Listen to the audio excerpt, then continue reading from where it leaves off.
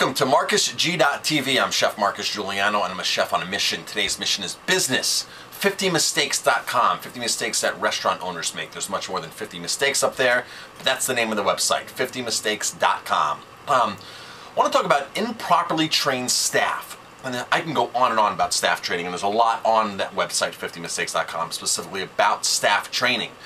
Your staff reflects your business. They reflect you. They reflect everything. That's who your guests come into contact with. I just, I, always stress to my staff, the best staff, the most qualified staff that we find for front of the house, for wait staff, for servers, we can have somebody with 10 years experience, 20 years experience. And I always explain to them, you start off as a bus person here. You don't get thrown into waiting tables. You don't get thrown into behind the bar. Um, there's this grace period that you have to come in and reprove yourself that you can do what we do at our at our restaurant.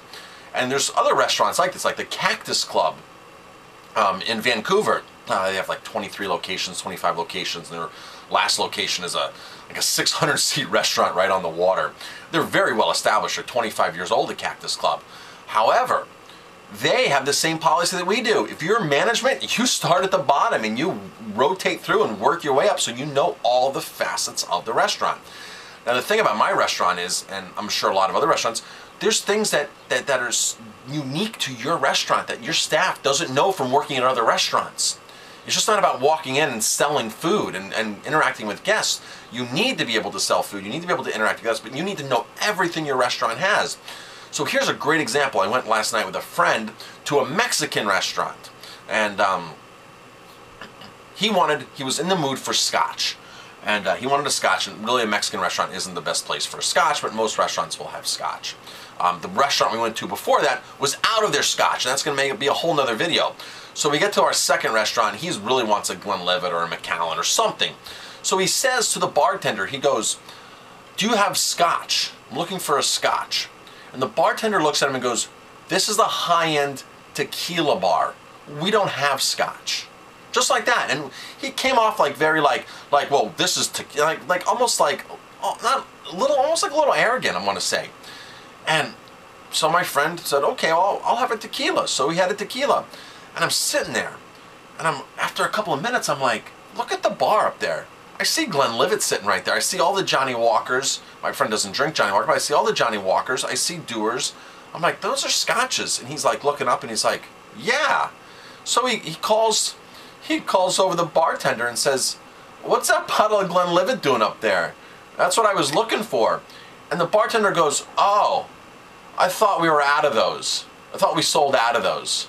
Right? So he's like five, six scotches up there. Oh, I thought we sold out of those. Not like, oh, I'm sorry, I didn't realize that, or this or that, or I'm new here. I don't know how new the guy is. But these are the things that make a difference in your restaurant. Improperly trained staff is killing you. Now that person should have been should have been much better trained. He should have started out at the bottom and worked his way up and understood what's going on. If, if, even, if, even if it takes your most qualified server that's coming from another restaurant, from other experience, even if it takes them a week to move their way up, it's a week of learning the fundamentals, of learning the basics, of understanding all the jobs that need to be done. And it might only take them a week. I've had some experienced wait staff that have, that have, that have come into my restaurant that's taken them two months to move up. Because we're a bit more intricate than other restaurants, but still, I explain to my staff, when you go out on the floor, that's the battlefield. It's a friendly battlefield, okay? We want to give you as much ammunition as possible to make sure the guest has a great experience. It's about the guest. Now, my friend had a good tequila, okay, but he didn't have the experience he was going in for. He wanted a scotch, and that's what he wanted. That's what he was in the mood for. So, his experience is altered because this person isn't properly trained, or maybe they were trained, maybe they just can't remember it. So, if they can't remember it, they shouldn't be in that position, right? They shouldn't have moved up as quick or quicker. They shouldn't be in that position. So I explained to my staff, you're on the floor, you're on the front line, you're the first person in contact, you're the one they're going to remember.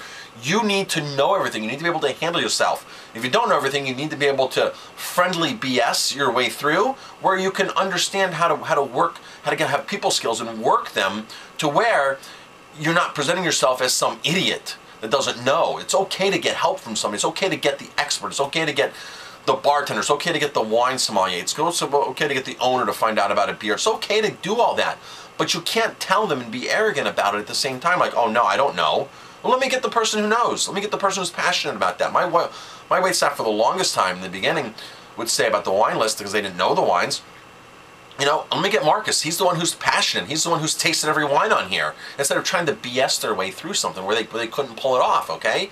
So, I'm Chef Marcus Guiliano. Thanks for watching this video. Uh, please like my video, subscribe to my channel, and definitely, if you're a restaurant owner or restaurant manager, check out 50mistakes.com and uh, leave your thoughts on the, uh, in the comments here. Thanks for watching.